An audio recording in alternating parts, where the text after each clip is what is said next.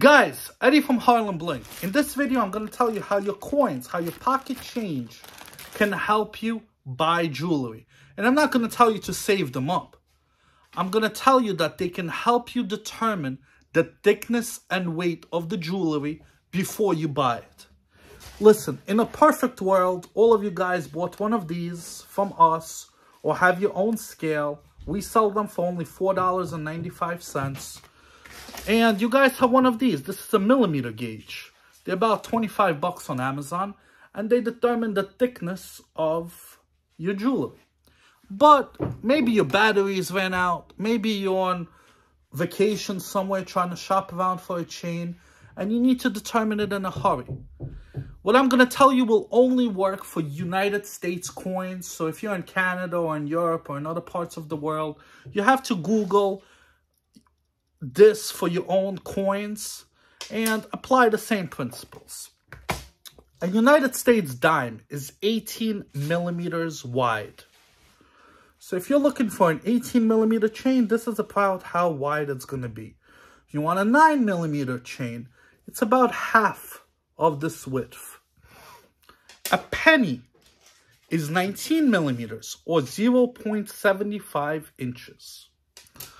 A nickel is 21 millimeters and a quarter is 24 millimeters, which is about 0.95 inches.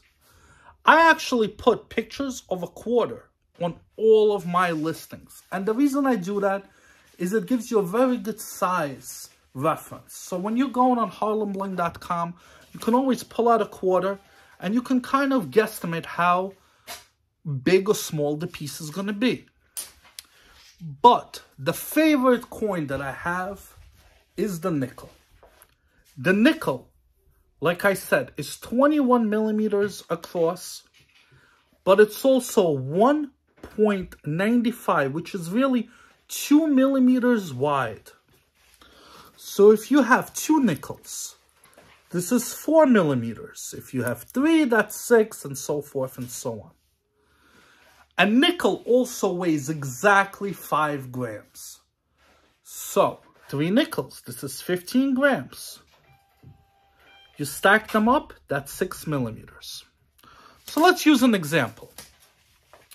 This is a flat Harlem Bling Cuban chain, 20 inches, 4 millimeters wide. It's supposed to weigh 9.6 grams according to our website. So we'll take two nickels. And you know it's 4 millimeters. You just want to see how thick it is in real life. You take two nickels, and that's how thick it is. Because again, each nickel is 1.95 millimeters. In your mind, you want to see how heavy the chain is going to be before you get it in the mail. I told you, it's supposed to be 9.6 grams. Two nickels are 10 grams. So they weigh about the same. We can continue. This is a 6 millimeter Figaro chain. So you take three nickels, and that's about the same thickness as the chain. This is supposed to weigh 60 grams. So you take a bunch of nickels, 12 of them to be exact, and that's roughly how much this chain weighs. And we can continue going and going. The quarter is good for thicker chains, like this prong chain is 22 millimeters, a little bit smaller than a quarter. Another very important thing to understand, especially if you have one of these, is that the chains are meant to be measured at the widest point. So they're meant to be measured like this. You always have to keep this parallel to the chain. If you're going to start measuring it like this, it will give you a false Sweden. That's why we get a lot of messages. Oh, Eddie sold us a 5 millimeter chain instead of an 8 millimeter. Yeah, you dumb fucker. Because you, you took the caliper and you measured it like this. Or some people start measuring it like this. And then we get a cu customer service so, uh, email that the people measured their chains like this. Yeah, this is the thickness of the chain. That's not the width. The width of the chain is the longest two points from here to here, that's the width of the chain. Again, guys, one inch is 25 millimeters.